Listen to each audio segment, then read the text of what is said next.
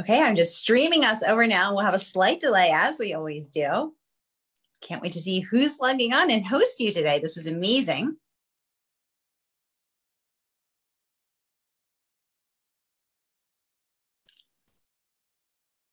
And we are live. Welcome, mighty mystery fans. I'm your on air host, Sara DiVello, and I am thrilled to be here today hosting Wendy, author of Don't Look for Me, out today. Look at this gorgeous cover. Wendy, welcome to Mighty Mysteries. Tell us about your book.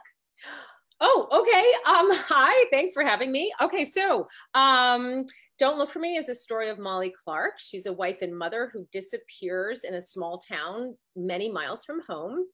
And everyone assumes that she's walked away from her life because she has a backstory in her family that's quite devastating. And the day that she disappears had a lot of emotional uh, trauma occur. And they find a note that indicates that she doesn't want to be found. So they've given up the search. But two weeks later, her daughter Nicole gets a new lead and she decides to get her fight on and she goes back to this town determined to find her mother at all cost it's a really small town where everybody knows everybody's business and everyone's secrets, and they're not necessarily willing to share them with Nicole. Um, and so it's really um, both women's stories. There are two narrations. You follow Molly hour by hour, day by day, from the moment she's on that road. And you then follow Nicole starting two weeks later with her search for her mother, and the timeframes eventually converge into a very explosive ending where all is revealed. Excellent. Well, yeah. I cannot wait to get into every single bit of that because you've given us so much to talk about today, so much to work with. But before we do, I have to share just a few words of your incredible play- praise because this book is getting really major buzz. Uh, Newsweek rating a twisty, hair raising tale. GMA, Good Morning America, is saying a fast paced psychological drama. Pop Sugar saying compulsively readable. Publishers Weekly giving you a starred review, um, saying this reinforces Walker's place at the top of her genre. Absolutely amazing. AJ Finn, New York Times bestselling author of The Woman in the Window, says addictive. I could go on and on um, because you have really earned incredible praise. You have written a book that has that has earned this praise. What do you think is the number one most important um, facet of writing a book that that earns this kind of rave reviews? You know, it's so interesting because I I I don't know that I could have predicted it. Like I'm always trying to write the best book that I can write. But mm-hmm. sometimes I guess you just come upon a story and a structure and an emotional wormhole that that sort of reaches people on a wide scale and when all of that comes together um, then you get a book that resonates. And you don't always know when that's going to happen as a writer. Every writer knows this, right? We we all try to do it. Nobody nobody tries to write a book that's not going to get buzz, right? We all hope that every book we write is going to resonate. But this one, I really I just took all of the things I learned from my other books the the things that worked the things that didn't work i take all of my um, readers uh, comments very seriously and all of the you know industry comments very seriously. And i try to course correct and say okay it had a little too much of that not enough of this. And you know just trying to find that there's my dog. I warned you earlier. My, yeah. my 13 year old dog is getting close to dinner time so he's going to stalk me. Um perfect. but but this book so this book has um it has fast pacing with the split time frame uh, and short chapters. And it also has, by having the dual narration and the split time frame, it ramps up the suspense mechanically because you always know mm. something that the character doesn't. So that's just a technique, right? That that a writer can use. It's like there's a monster in the closet, you know it, the character doesn't, that whole chapter you're going to be on this you know the edge of your seat wondering if the monster's going to pop out or if she's going to open the door so that mechanism already ramps up the the energy in the book. So you have so there was that. Then i took these characters and i wanted them to reach people. I wanted people to to uh, understand them and to root for them because they are two women who uh, are part of a family that has suffered a devastating loss. And for five years, they, they lost a child to a, a, tragic accident for which both women feel partly responsible, even though it, it was really no one's fault.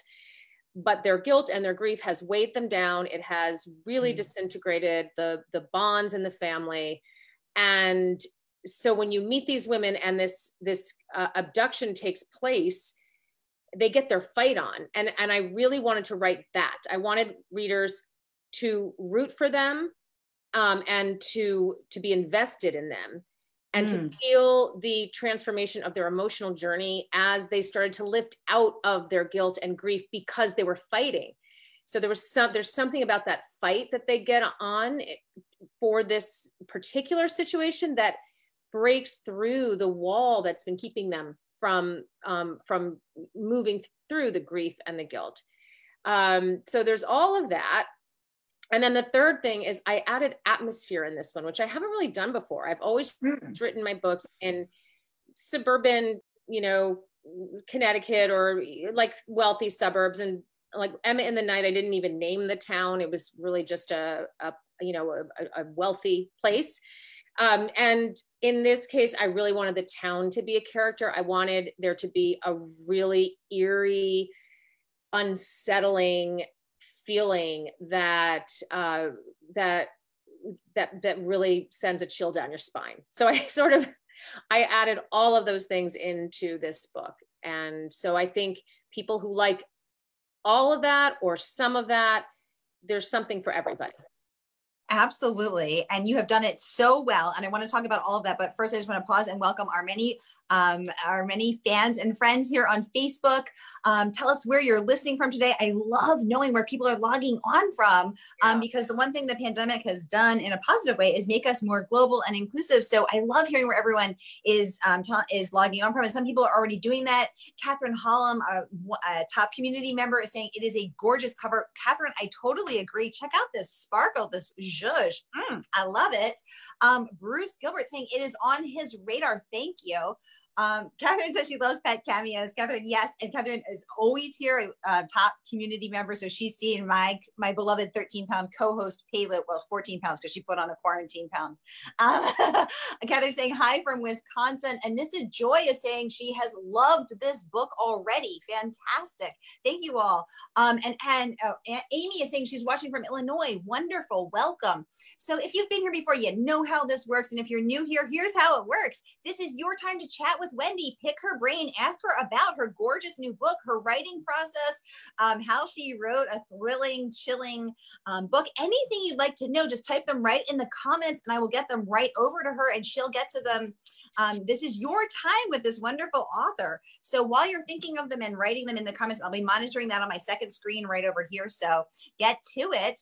Um, and while you're thinking of your questions, I'm going to ask Wendy a few of my own. So, so much here. Um, the strong women. I love that you wrote a mother daughter book, and it is a complex mother daughter relationship, um, which I loved seeing. I think we need to see more of that. We're seeing so many more um, multi-layered, multifaceted female characters, but you wrote two multi-layered, multi-female, uh, multifaceted female characters. This mother-daughter duo. Um, there's a lot there. There's a lot um, both to each character that they're struggling with. Um, you wrote a book that, as I have been tweeting about, has kept me up to 3 a.m. more nights than I care to admit. Um, even got up one night and checked all the locks again. like that's how anxious it has made me. So you have succeeded, um, and I and I thank you for breaking it down for us. In, you know, in terms of the atmosphere, um, the dual the dual timelines, the dual characters, knowing that there is that monster in, in, the closet because it worked. I was actually scared, too scared to go to sleep. So uh, everyone check. Sorry, check but terrifying book. So it's amazing yeah. to know that this is just you know a novel but yet to be experiencing actual anxiety and and and just one more chapter how is she going to get out of this? And also right. planning my metaphorical escape should i ever find myself in such a situation. Um, but it starts as a book as a woman who walks off. Let's talk about that. Why did you write a book about this? What what's the inspiration? Why this book? Why now? Yeah so it actually it didn't start as a as a concept of a missing person book. It started with um, a moment that happened to me, which is very rare. This is the first book that I've actually like drawn so directly from uh, an incident mm. in my life. But I was just at a really difficult time in my life in general. And I was driving back from uh, watching my son play soccer four hours from home. He was coming back on the bus. So I was driving alone.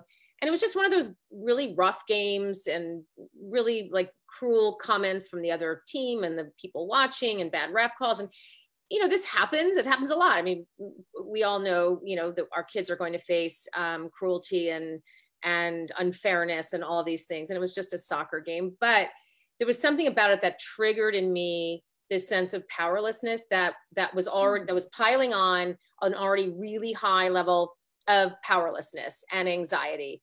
And like my cup was full and it had no room for this. And so the whole drive back i was just filled with this sense of you know of just it just like yuck. Like i mm. can't protect my children. Like what what am this has been my life's work. I've designed my whole life to take care of my kids and to be there for them. I'm a single mom. So i you know for me like this was incredibly devastating to think mm-hmm. that after all of these years of sending these messages work hard and you'll succeed and whatever you know to see that now he's going to have to learn that that's not always true and go through the emotional angst of that and dig deep and find his own integrity. All those things you have to do to grow up. And i just didn't want my baby to have to do that. And i was just emotional. I was highly emotional. And so i was at this gas station halfway from home this road the same road that molly clark is on. I, I captured it in my in my mind and i wrote it in the book and it just seemed to go on forever and as i was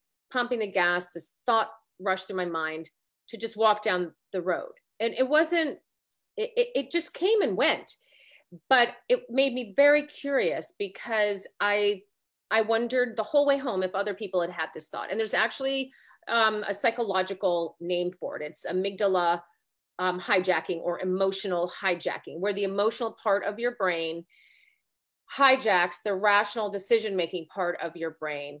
Um, mm. And it comes from our fight or, fight or flight instinct. So if there's, you know, a lion about to pounce, there's no time for your rational brain to process anything you need that emotional part to come in and t- and take over so it's actually very useful sometimes but in this case you know not so much but um, the reality is that most people who walk away from their lives um, are um, i'm sorry most people who disappear have walked away from their lives. The vast majority. I was shocked when i learned that. This is all the research i did when i got home. So I decided to to make it a missing person book about a woman who who starts to walk away and then comes to her senses her emotions die down she you know tries to make it back home and then is abducted. And the the um, the interesting thing about walking away is that sometimes it's it is a rational decision if there's abuse or or danger in the home. Sometimes people plan it carefully and they leave for you know rational reasons. But other times it's it's it's this emotional hijacking that causes them to act in the moment. It's mm. it's a fascinating topic and it's very relevant now because everyone is so filled with anxiety. Um, our foundational security has been rocked to the core and we're all walking around with that all day long. Just no you know just a, like our baseline of, of anxiety is is much higher than it normally is. Mm. Exactly. That's so true. I actually just read a really fascinating article about surge exhaustion. Like at first in March, we were all like, okay, let's do this. And now yeah. seven months later, we're like, I'm exhausted. I can't yeah. keep doing this. We're, because that fight or flight is kicking in. Yeah. And um, it, it hasn't left us. I mean, it's, it's still sort of there. We're just sort of getting used to being at yes. this level all the time. Yeah. Exactly. Exactly. Oh my God. Amazing questions are pouring in already. I just happened to glimpse a few of them. Okay, good, Let's good. over to them.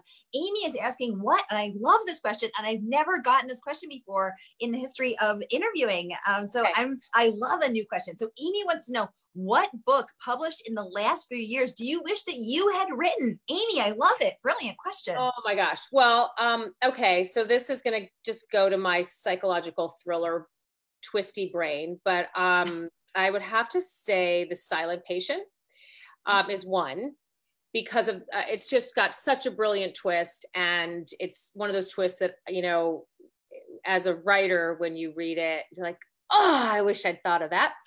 Um, what what other book? Um, you know, I really like dark, dark uh, post trauma books. So uh, my Dark Vanessa, what I, you know, I found that book to to be incredibly engaging. I loved Long Bright River. I thought the writing oh, yeah. that the writing in that was just phenomenal. That it, it's so literary, it's clean.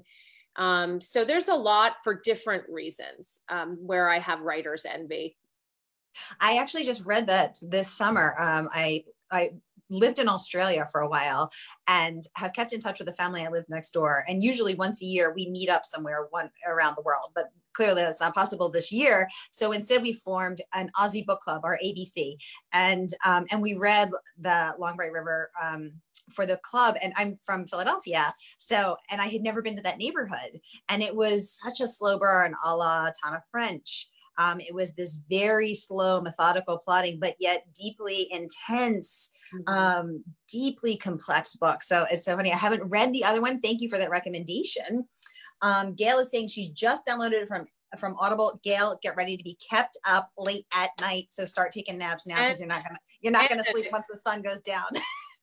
um, so you should watch. I just did a video interview with Therese Plummer, who narrates the audiobook for Don't Look for Me she's phenomenal.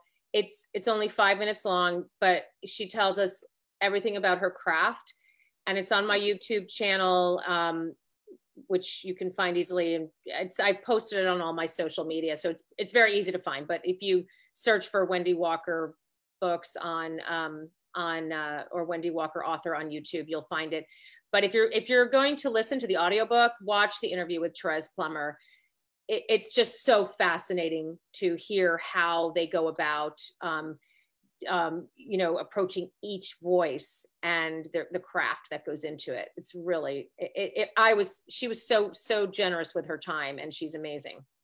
And was that the voice that you envisioned in your head as you were writing the book? Did you hear a voice and was that it? Or were you like or was it a new was when therese read, read it were you like oh that that is that's not what i was expecting but it's so right. Tell us about that it's never how I don't picture voices. Um, so, or imagine them. So when I hear them, it's as if I'm experiencing the story anew for the first time. And it can be a little disconcerting because they're my words and it's my character, but the the voice and the acting and the emotion that she puts into it make it a different story. Not not the plot and but just you know every everybody experiences uh, the story differently. And actually one of the things we talked about and this is getting to the um, what you were saying about being ter- terrified is that there is something truly magical about being able to escape whether it's through an audiobook where you don't even have to you don't even have to imagine what these characters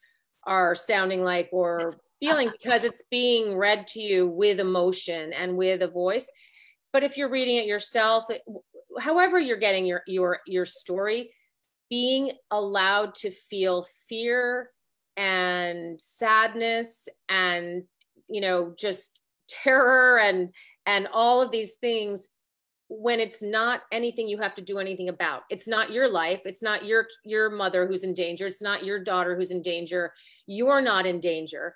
So you don't have to get up and do anything about it but you get to experience the emotion and like get that emotion out of you in a really yeah. safe environment. And that's why it's such a great escape. And that's why i'm such a huge advocate of of really leaning in hard to the emotional attachment to the characters so that it's not just intellectual page turning but the reader or the listener can really like feel through those characters in a safe like a safe environment Mm, mm, I love that. Absolutely. And one thing I've noticed since quarantine is I can only read mystery and thrillers because my attention span has yeah. has shrunk to the size of a gnat. And I need something that's really going to keep it going and keep me sucked in. And I have never read more mysteries or thrillers, which is fantastic. Um, Amy saying, so excited to read this one. I heard the first chapter on First Chapter Fun. Oh my gosh, we love First Chapter Fun. Harry, Ma- Hannah Mary McKinnon and Hank Phillippi Ryan have both been guests on the show. They are fa- both fantastic. Um, yeah. She said it sounds so good. Um, she's asking, what book are you most proud of? Oh, wow. Um, Love that question. Yeah, boy, that's like asking which of my kids I'm most proud of. I mean, I'm yeah, we're I'm, asking. I'm, no, but I'm proud of each of the each book in a different way. But I I I think my first breakout novel, which was All Is Not Forgotten, I'm most proud of because I I had almost stopped writing at that point. Mm. I'd been mm. writing for many years. I used to write women's fiction. I hate that term, general fiction. Um, and it you know didn't take off i went back to being a lawyer and i was a single mom then and practicing family law and writing on the side and uh, and i really you know I, I, I was at a point of giving up and my agent encouraged me to um, to write a psychological thriller and i told her i could write one more book and then i i, I had to pick a horse I, I was either going to have to ramp up my legal career or quit writing um, or or write full time. So one, one of those things was going to have to get my full attention. And so I wrote All Is Not Forgotten in really like six weeks, and it poured out of me. It was be, being encouraged to write in that genre, which I really knew nothing about. I'd only really read legal thrillers, and and Gillian Flynn had just opened this door to mm millions and millions of readers loving this genre suddenly. And so thank you to her. Um, and so this it was a hot space to write in and i had a story and i had a character and i just wrote him in first person and i wrote him like it was like writing it was like coming home i mean there was writing all this darkness was i don't know there was something about it that was just the perfect fit for me and I'm really proud that I didn't give up, that I gave it one more book, and that for writers out there, that I actually said, okay, what, you know, if you could have any book to give to an editor, what would it be? And then accepting that challenge. Like everybody, everybody's loving psychological thrillers. And I just said, okay, I'm going to try to write one and I'm going to try to write the best one. And I'm going to try to write something nobody's written. And, um, and I managed to kind of do that. And um, that book was a big breakthrough for me, allowed me to stop practicing law and write full time. So, um, so I'm proud of myself for not giving up. I really oh almost oh did. I love that story. I love that story. I love everything about it the perseverance, the triumph, that sort of last Hail Mary pass. This is that is such a great story. And I think it's so encouraging for all of us, no matter where we are, either as writers or as readers, to just keep going. And thank you for sharing that. That's so inspirational. I love that. I want to get to some more questions because oh, we're getting lots of hearts and thumbs up from Facebook. Um, and I want to thank my partner in crime, pun intended, Trisha Blanchette, who is managing things over there. Trisha, you're rocking it. Um, I want to welcome Kathy from South Carolina. She says she can't wait to read this book. Kathy, absolutely. You are going to love it, girl. Um, um, let's see. I'm just scrolling through. There's so many great questions here. Um, thank you all. Keep them coming. Catherine wants to know what was the um, that emotional connection to the book something that made writing it easier or harder? Catherine, as always, with the great mm. questions. Thank you. So writing Molly's chapters uh, it made it much easier because mm. she was in the moment. She's been abducted. She's, I don't want to give too much away, but she's. So Molly's the, the way, mom, everybody. Molly's the yeah, mom. the mom. There's no physical violence. There's no sexual violence. There's no torture. It's psychological terror because she doesn't know if she's going to be able to ever get out and see her family again.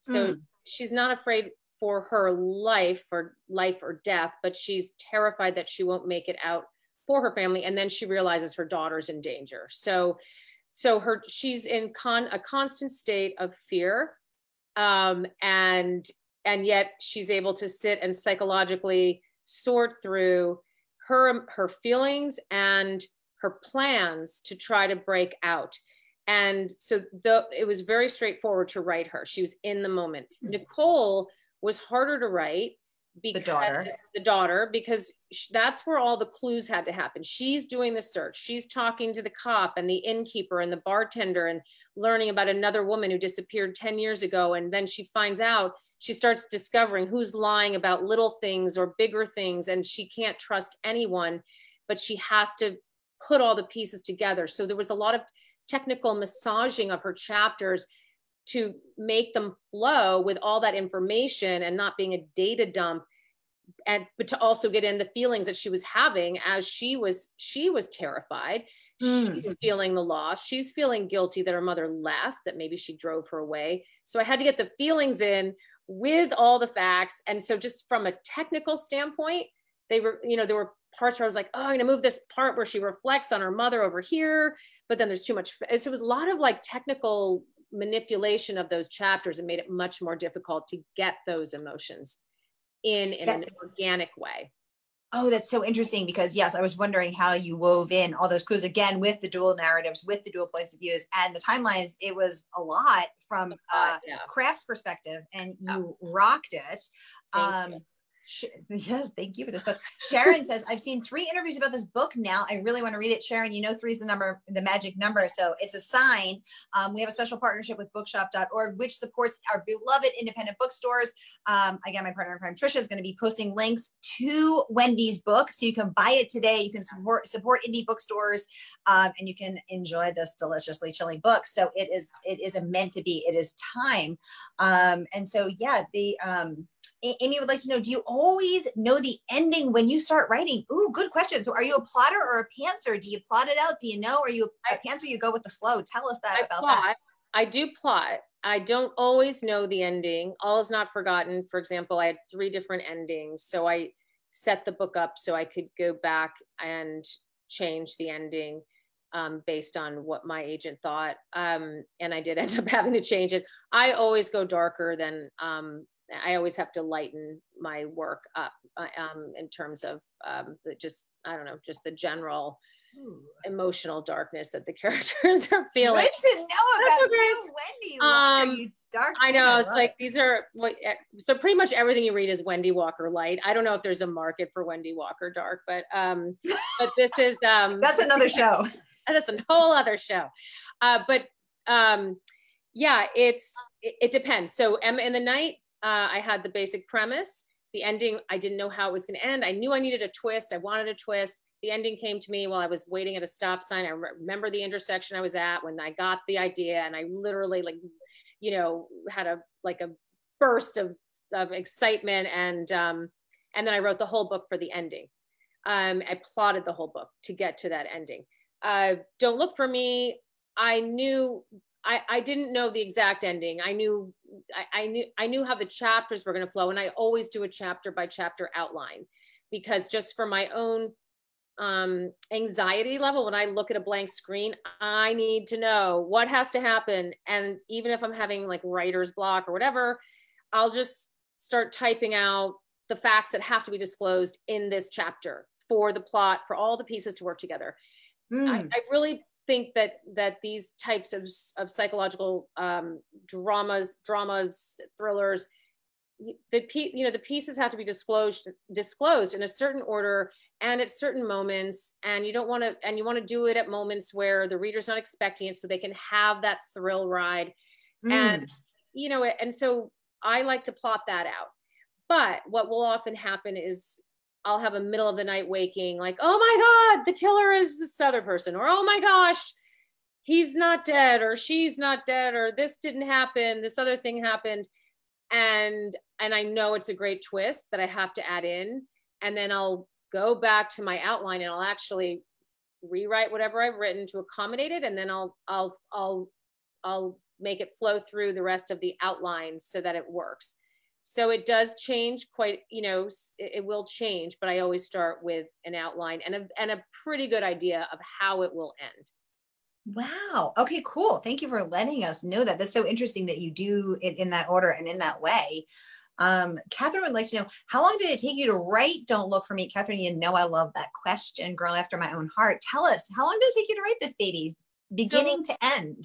So it's it's when you're working with an editor on a book, it the process is a little different. So it was, you know, I had the concept. I always write in the fall when my kids are all in school. So this year's a little different. Um, so probably like six to eight weeks to get a draft or, you know, after I have the outline. So it'll take me maybe a couple weeks to get a really good chapter by chapter outline. And then there's a pause while my editor looks at it and thinks about, you know, where I'm going with it. And um, there might be a revision of the outline and the first couple of chapters. And I, I, always give her the first couple of chapters to see what what the tone is and the characters and the voices and the narration style because that's important too. Are you writing first person, third person? You know, who's narrating, who's telling the story, and how.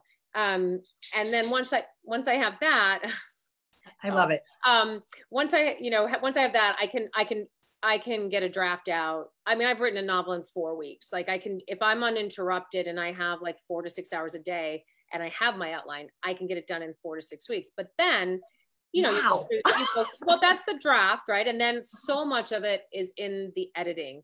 And so this book start to finish was probably like September. And I think I had it wrapped up by April with probably, you know, you know lo- long breaks while my editor was reading or i was on you know kids were home for christmas or you know things like that. So but i it every, and every author has their own their own own method to their madness. So whatever works for you don't judge yourself. Some people it takes two you know if you're writing something literary really literary and every sentence is is a work of art it, it could take years to write a novel yeah. Uh, and I'm not, I t- I am greetings from book number two. I'm six years in. I'm not trying to write literary, but I'm writing true crime. And that's how long it took me to research the crime. And that's how long it took me to research all the characters. And it's, it takes, I love that, you know, it takes how long yeah. it takes. And I think we all do need to feel, you know, permission to, to be okay with that process because it takes, and we're all, you know, living different lives and working different pieces. And there's a lot yeah. of different factors. So, so many different factors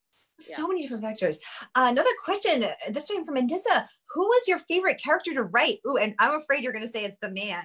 now knowing you're dark, Wendy. Well, I can't. So my favorite character to write is um, is someone who's in the house with Molly. So I don't want to give any spoilers. Ooh, I know who it is. You know who it is, and um, so having worked in family law for about five years and um, I went through a course to be trained as a guardian ad litem and oh yeah. and I also went to some seminars on um, sociopathic behavior. And since I've been writing thrillers I you know researched that quite a bit.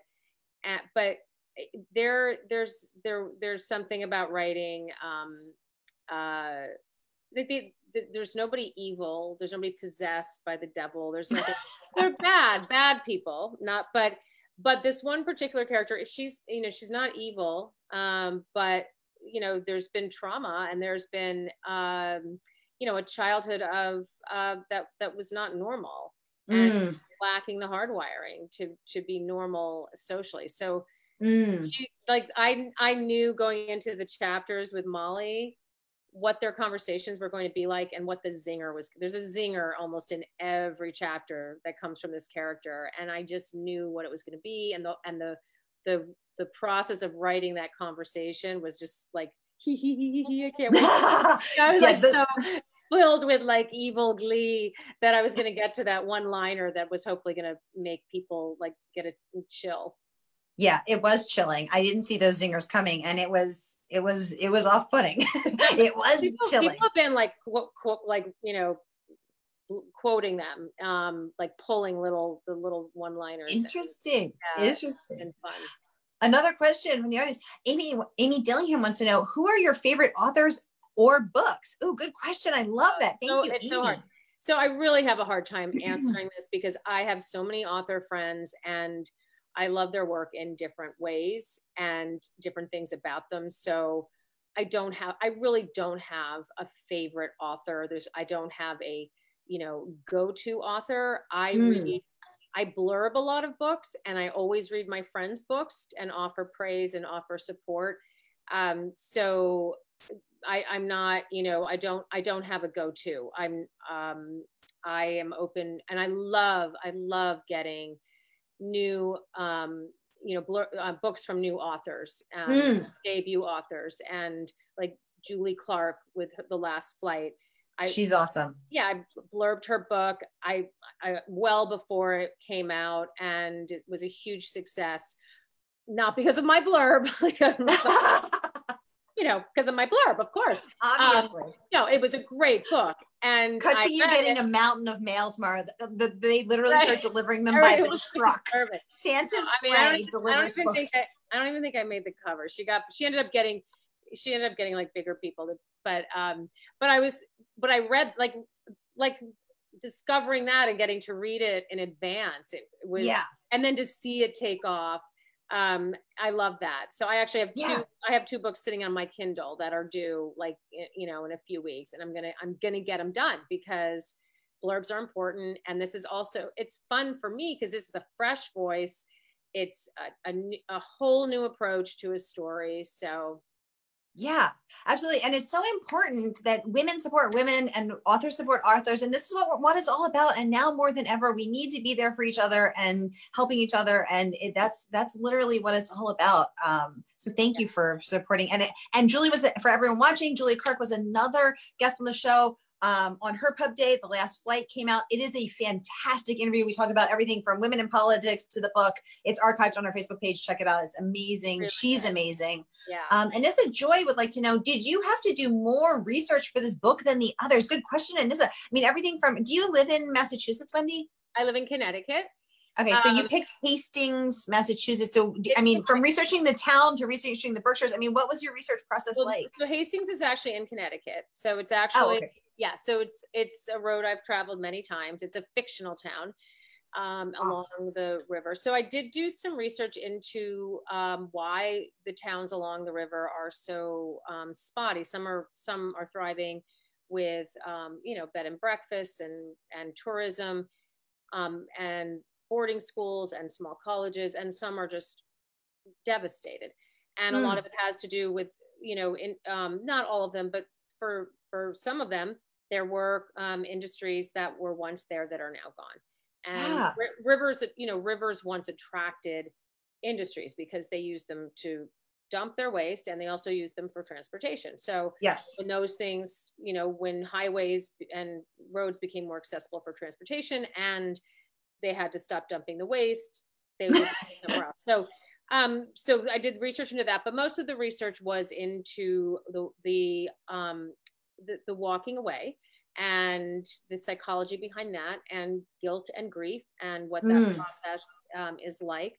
And also um, there were just some crime type things um, as you know molly tries a bunch of things to escape. So you know the thickness of barbed wire can you what it, what does it take to cut through it? Um, how much you know how many apple seeds will cause someone to get physically ill and and how do you get the poison out of them um, and put them into something that someone won't detect. And the same thing with antifreeze. Like i was anything in that in the in this place where she's being kept i was researching possible ways she could use it to to um, to break free. So there was a lot of different types of research. The greatest amount of research i ever did was for all is not forgotten into memory science which is a really deep body of, of research and it actually um, and is still growing Absolutely. Yeah, absolutely. And um, actually, a very dear friend of mine, Lisa Genova, has a new book coming out. She's a neuroscientist, PhD from Harvard. Of course, she wrote Still Alice about um, about Alzheimer's, and she has her first nonfiction book coming out in February called Remember, and it is about the science of memory and Wow. why we forget and why we remember. And it is going to be a must read because she can tell us why. Um, Yeah. We have two more amazing questions that I want to get to, and then we're going to have to wrap up because we've kept you for far too long, but the conversation is so No, darn juicy. Um, what someone, uh, Catherine, I believe, would like to know. Tell us about your. Go- she said your cover is gorgeous. Tell us the story behind it. Yeah, so Wendy, tell us. uh, it appeared in my inbox and i said yes that's, that's the cover. is. yeah we have a wonderful um, cover designer um, that st martin's uses and um, she just nailed it like she just nailed it. We just and it doesn't always happen that way. Sometimes i mean um, the night before went through so many different covers bef- before they decided on one to show me and then it it was a different different process. This cover captures everything. That's molly. She is caught in the storm. She is caught in the storm in her head as well and she's walking. You can see her. The truck the lights from the truck are coming up. Um you know it captures that moment perfectly And And it's sparkly. And Which is so fun. I don't know if you guys can see this in my ring light, but it Yeah. is. It, this is like a gorgeous texture to it it's really really Yeah. beautiful. It- yes, totally. Um, and another question: How's has and I love this question. Has your experience with the crime fiction community been different than the quote unquote women's fiction, which is really just general fiction? And she's noting that community. And if so, how? Tell us about that because I'm curious too. Because the crime, Yeah. I'm new here, but it seems like crime is super supportive and oh really God. awesome. I never had that much exposure to the other um, communities, in, you know, different um, genres because I wasn't very successful in them and I didn't, you know, I w- just never really engaged. Um, when I started writing thrillers and started going to the conferences and getting to know other thriller writers, it is unbelievable the, the amount of support. I, I, it is just across the board because we, first of all, we recognize that readers of suspense are voracious readers and they read quickly and they're not going to just read one book they're going to read many mm. books so there, there's no if i go you know do an event with another author there's no fear that you know she's going to steal my audience or i'm going to steal her audience they might buy her book instead of mine that night at a bookstore but then they might buy mine next so and they've seen me now and met me so cross promotion benefits everyone. So that's the starting point. But there's also just something about this genre that attracts people who have like just the same chip in their brain. I don't know what it is, but when we get together, it's just like we can't wait to be together. It, I mean, it. We go to these conferences, everybody's hugging, everybody's, mm-hmm. you know, the the wine is flowing, oversharing. You like within an hour you know everything that has happened to everyone that year start to finish like it's just and it goes on for the whole conference and we I don't even remember the panels we're on. It's just all about getting together and laughing and telling outrageous stories because there's something really dark about these books and some there's a lot of language that's used and there's stuff and and when you're in normal company you have to sort of rein it in but when you're when you're with your people who think that same way and you don't have to be unfiltered. Like like thank goodness nobody's ever recorded these conversations they they are like we laugh so hard and it's such a release for us that we can be unfiltered and not worry that we just talked about some cool way to like kill somebody or hide a body or you know even what what to call different body parts if you have a sex scene. I mean that conversation went on and we were one upping each other. I mean it was i i love love love my author friends. And they have been so supportive like across the board so oh my god, I love hearing that. Oh my gosh. Well, I have loved hosting you. Um, Wendy Walker's brand new book, Don't Look for Me, out today, getting incredible, incredible buzz. Um, what a pleasure to get all of your questions. Thank you as always for your amazing questions, everybody. That's why I love my mighty mystery people. Thanks for logging in. Um, up next at 4 p.m., we have Micah Nemerever, um, debut author. And at 6 p.m., we have Sophie Hannah, whose brand new book about Hercule Poirot is out, um, sanctioned by the Agatha Christie Estate and Family. So we've got some amazing guests coming up. Um, again, my thanks again to my cohort, my partner in crime, Trisha Blanchette, founder of Operation Delta Dogs, saving military dogs um, and supporting our veterans, um, for managing everything on Facebook. And she is again posting links to Wendy's gorgeous brand new book, Don't Look for Me, out today. Uh, buy on bookshop.org, buy on Audible, however you like to read or listen. And let us know what, come back and let us know in the comments how late you were kept up to and what your favorite parts were. Yeah, and I just want to say it's really so important for authors that um, if you think you're going to buy anyone's book, buy it in the first week, um, post a review, um, uh, on Goodreads, Amazon, wherever you want to go, social media, share share your thoughts with other people. Um, it's really, especially debut authors, if you have them on, and support indie bookstores if you can. They're struggling. So Absolutely. And again, buying through bookshop.org does support indie bookstores. We're thrilled to have a, part, a very special partnership with them, which Trisha made happen. Um, and so we love supporting indies. We love supporting our authors. And again, there are so many ways, as Wendy just said, to do that, whether it's sharing it on your social media, whether it's buying it, whether it's sharing and buying it. We thank you for your support. We thank you for being here. And we will see you next time on A Mighty Mystery. Wendy Walker, thank you so much. And congratulations on your amazing, amazing book and all of the amazing buzz it's getting. We're so excited to have you. Thank you so much. Have a great day. Have a great day, everybody. We'll see you next time.